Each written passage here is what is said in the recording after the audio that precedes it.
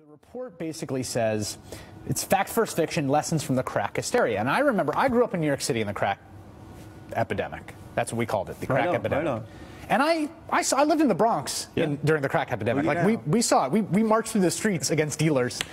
You know, I, I remember what I remember. How, you're laughing, but it was a thing. It was such a thing. I mean, it was like a tornado came through the city. That's how it. That's how it was Look, described. I, that's how I'm felt. with you, man. I mean, the crack epidemic is the reason why I study drugs today because of what you just described. I wanted to solve the problems faced by my community, and I thought crack was the number one problem. I mean, many of us in the country felt that way. I mean, it was so bad. In I think 1989, the LA Times ran a story where the NAACP in Lakeland, Florida, uh, teamed up with the Ku Klux Klan to rid the community of crack dealers. Now. The, the mission statement You're just like whatever it takes. Yeah. The enemy of my enemy. Precisely. The mission statements of those groups are they're in conflict, right? But but that's how we all got about crack cocaine. But the thing you know, the thing is is that we got hoodwinked. You know, it was a way not to deal with problems of the inner city, um, of urban areas. That would that's what happened. I mean, crack was blamed for high unemployment rates. The highest unemployment rates we had in my time was in 1982, double digits for white people, and it's always twice that for black folks. Nobody remembered that. Nobody Right, remembered that during the whole crack era, unemployment was never that high. And then the literature, I mean, what ended up happening was that there's a whole raft of literature after the kind of media hysteria in which it showed, for instance, crack babies, right? We were all, we all knew about crack babies. And it seemed, it did not seem crazy. It seemed fairly intuitive. If you are pregnant and you're smoking crack, that's going to mess up your kid. Right. It turned out it wasn't necessarily messing up kids or no, not nearly to the extent that we thought it would, right? That's exactly right. And, and now, mind you, nobody is saying that people should go out and smoke crack during Yeah. pregnancy. Right. But the point is, is that when, when the, all the evidence came out, the effects of crack cocaine or cocaine on, on a pregnant woman or the fetus was the same as the effects of tobacco on the fetus. Exactly the same.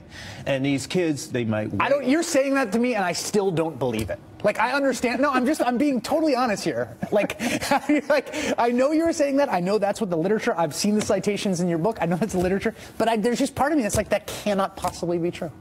Yeah, you know, when, so when I get that a lot, as you know, and and and uh, I don't know what to say to that. I Right, mean, yeah, uh, yeah. I deal in evidence, and if everybody, one of the things that we want to, I wanted to do with the book was to increase the intellectual tones around discussions of drugs.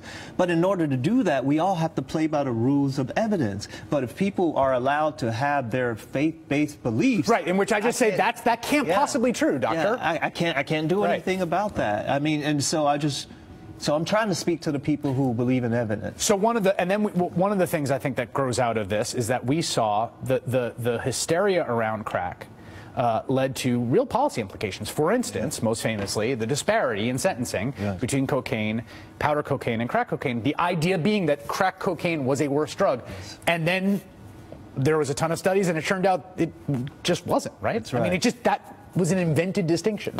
Yeah, and we were all, now we're all outraged about this distinction that you just described. But But everyone, we everyone subscribed to it. That's Everyone, right. We all participated, but eventually, evidence and truth came to light, and so I hope with the book that we can do the same thing with other areas. So finally, what is what is the takeaway? What lessons have we not learned about methamphetamine? I want to show this chart real quick because this, this blew my mind.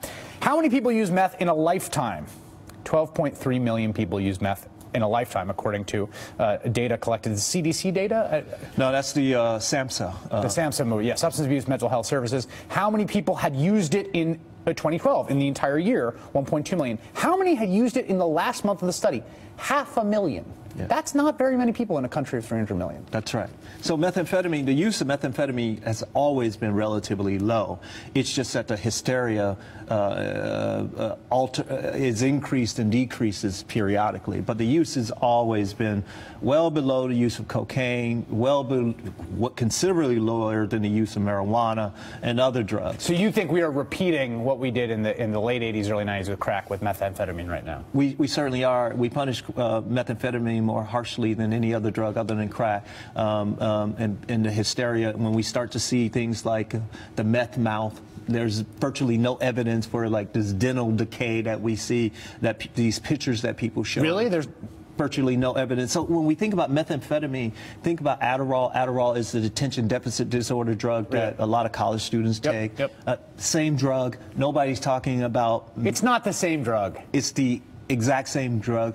The only difference is that methamphetamine has a methyl group attached to it. But we did a study in which we, uh, along with other people, in which we uh, tested the effects of a drug like Adderall compared to methamphetamine. They produced identical effects. They they are almost identical chemically in terms of the chemical structure.